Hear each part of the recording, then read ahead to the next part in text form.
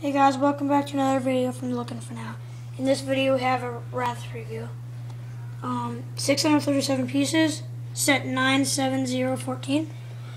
So look at the minifigures. Um, the back comes with a UNSC Spartan EOD, a Elite Combat, and an Elite Commando. They're all gold, except the EOD. Comes with a Scout, like a scout, a scout half, so you can switch him out. Comes with a rocket launcher, plasma launcher, and I forgot what that gun is, but it shoots like a laser. It's from Halo Reach.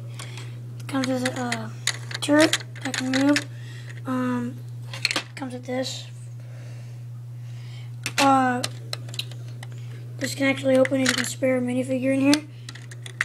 Um, these can go up and down. Comes with stickers all over the place this can move, and this can actually come up and like act like it's firing. So, and it can go back in like that.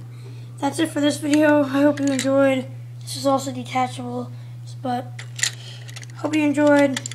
Subscribe and check out my other videos. Um, bye. That's it. Okay, bye.